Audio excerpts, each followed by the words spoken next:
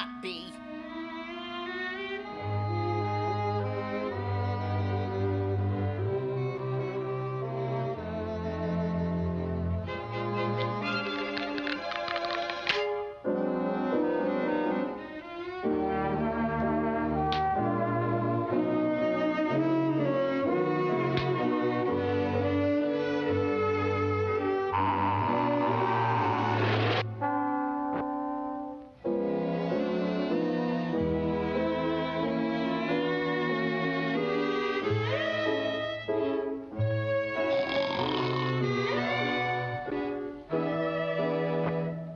Thomas. I'm glad to see you're awake.